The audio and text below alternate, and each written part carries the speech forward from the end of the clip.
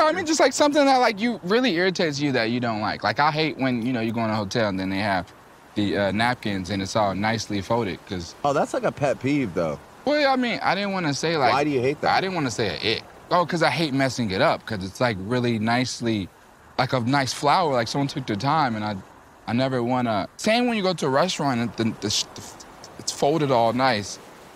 I never feel like I can. I think it. if we're I think if we're fucking with each other and you wake up earlier than me but have to like control the room. For example, like if somebody wakes up earlier than me and like busts the blinds open Oof. or oh man or like you know like Wow. if somebody's just on their phone but like taking calls and shit Oh, like in man. bed while you're I, if it's like if the if the room if the bedroom turns into your office just because you woke up earlier than me That's terrible. uh, it's uh, yeah that's horrible to me it's awful. yeah, that's horrible to me.